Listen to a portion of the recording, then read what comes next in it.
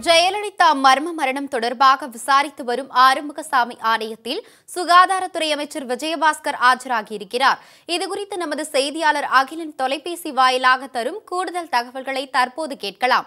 வணக்கம் அகிலன். வணக்கம் ஆனந்தி. உங்க தகவலை சொல்லுங்க.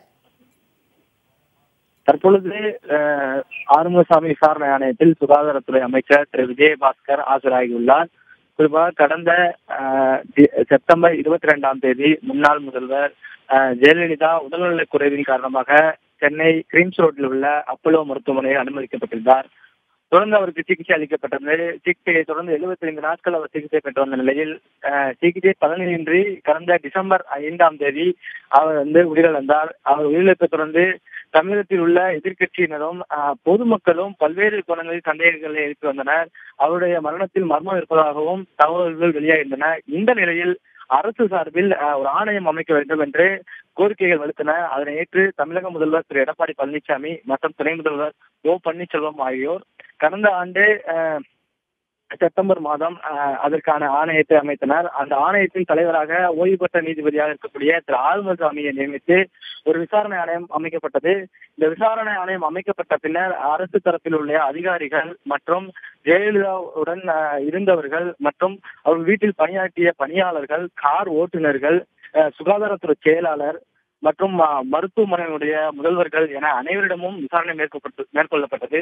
இந்த அடிப்படையில் விசாரணையின் அடிப்படையில் சந்தேகங்கள் இருந்தால் அல்லது நேரில் ஆஜராக அல்லது நேரில் விசாரிக்க வேண்டிய சூழல் இருந்தால் அவர்களை ஆஜராகவும் சம்மன் அனுப்பியிருந்தது. இந்த நிலையில் க- சுகாதாரத்துறை அமைச்சர் திரு விஜயபாஸ்கர் அவர்களுக்கு இந்த ஆண்டு கடந்த ஆண்டு டிசம்பர் மாதம் இருபத்தி ரெண்டாம் தேதி ஆறுமுகசாமி ஆணையத்தால் சம்மன் அனுப்பப்பட்டிருந்தது. ஆனால் அவர் வந்து ஆணையத்தில் ஆஜராவதற்கு விலக்கு கேட்டு கடிதம் எழுதியிருந்தார். அதனை ஏற்க மறுத்த ஆறுமுகசாமி ஆணையமானது மறுபடியும் கடந்த ஜனவரி எட்டாம் தேதி அவருக்கு சம்மன் அனுப்பியிருந்தது. அதன் அடிப்படையில் அவர் பத்தாம் பத்தாம் தேதி ஜனவரி பத்தாம் தேதி ஆஜராக வேண்டும் என்றும் உத்தரவிடப்பட்டிருந்தது. இந்த நிலையில் அவர் அன்றும் ஆஜராகவில்லை. அதனைத் தொடர்ந்து தற்பொழுது அவர் வந்து இந்த ஆறுமுகசாமி ஆணையத்தில் ஆஜராகியுள்ளார்.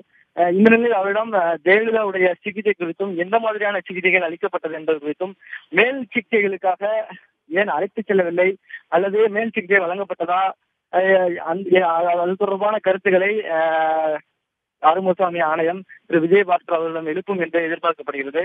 மேலும் திரு. விஜயபாஸ்கர் விஜயபாஸ்கருக்கு முன்னதாக சுகாதாரத்துறை செயலாளர் திரு. ராதாகிருஷ்ணன் அவர்களிடமும் இந்த விசாரணை மேற்கொள்ளப்பட்டிருந்தது. குறிப்பாக அவருடன் பணியாற்றிய பணியாளர்கள் மற்றும் அவருடைய அவருடைய இல்லத்திலே கார் ஓட்டுநராக பணிபுரிந்த சிலரிடமும் விசாரணை மேற்கொள்ளப்பட்டது. இந்த நிலையில் ஆறுமுகசாமியின் விசாரணை ஆணையமானது மந்த நிலையில் செயல்படுவதாக எதிர்க்கட்சி தலைவர்கள் உட்பட மக்களும் கருத்து தெரிவிக்கின்றனர். இந்த நிலையில் மேலும் கால அவகாசம் கேட்டு தற்பொழுது இந்த விசாரணை ஆணையமானது தொடர்ந்து நடைபெற்றுக் கொண்டிருக்கிறது. இந்த நிலையில்தான் அஹ், அமைச்சர் திரு.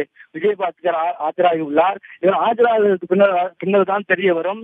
இருக்கக்கூடிய சந்தேகங்களோ அல்லது அவருக்கு எந்த மாதிரியான சிகிச்சைகள் அளிக்கப்பட்டது என்பது குறித்தும் இவருடைய விசாரணைக்கு பிறகே தெரிய வரும் என்று தகவல் அதாவது ஆறுமுகசாமி ஆணையம் தகவல் தெரிவிக்கின்றன.